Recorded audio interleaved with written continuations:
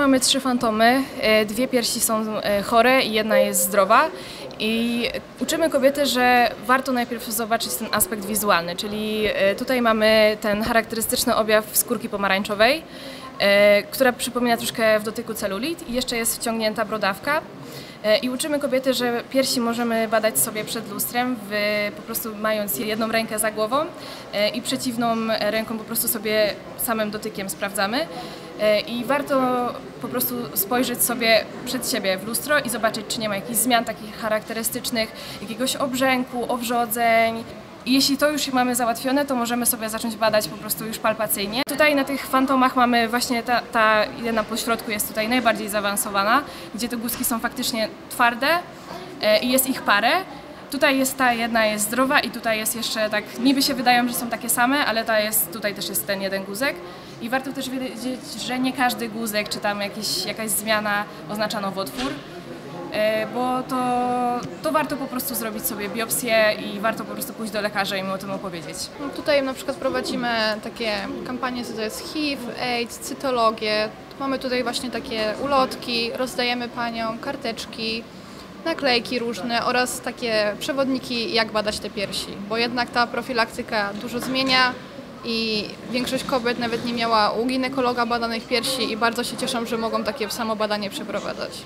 E, Pacjentki wiedziały, że trzeba robić, ale tego nie robiły, bo się po prostu wstydzą. E, Tak samo jedna pani przyznała, że się po prostu wstydzi poprosić swoją ginekolożkę o to, żeby to zrobiła, E, a pani chyba miała z 70 lat, czyli jest już w tym takim e, wieku ryzyka tak naprawdę. I ja się po prostu bardzo cieszę, że ona się nie wstydziła się podejść, nie wstydziła się zapytać, nie wstydziła się przyznać, że nie wie. I wydaje mi się, że nie jest jedyna. Panie mówią, że jak były w naszym wieku, to że się o tym nie mówiło, że się wstydziło o tym mówić, a były nam bardzo wdzięczne, że im pokazałyśmy.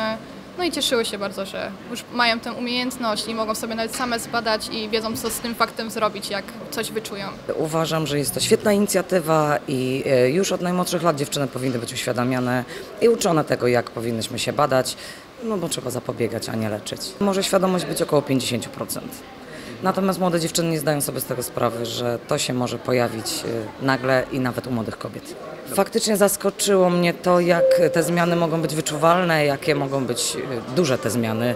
I to, że dziewczyny mi powiedziały, że w ciągu miesiąca te zmiany mogą się pojawiać u każdej kobiety. W Uniwersyteckim Szpitalu Klinicznym rozpoczęliśmy dzisiaj obchodzenie e, Dnia Kobiet e, we współpracy z Uniwersytetem Opolskim. E, W zakresie Wydziału Nau- Nauk Zdrowia pie- studentki kosmetologii organizują dla naszych pacjentek oddziałów kardiologii interny masaże dłoni, zabiegi na dłonie i te, dzisiaj studentki mm, odwiedzają nasze, e, nasze pacjentki, a jutro e, studentki kierunku lekarskiego będą wykonywały e, te swoje zadania w szkołach e, średnich będą edukować e, uczennice szkół średnich. Akcje profilaktyczne są niezwykle ważne, bo wpływają na naszą świadomość. E, My jako szpital, szpital uniwersytecki staramy się już od dłuższego czasu łączyć e, w różnego rodzaju akcje profilaktyczne. E, Dzisiejsza akcja to jest współpraca z Uniwersytetem Opolskim, e, z naszymi wydziałami, które mają zajęcia w naszym szpitalu. To jest Wydział Lekarski, Wydział Nauk o Zdrowiu.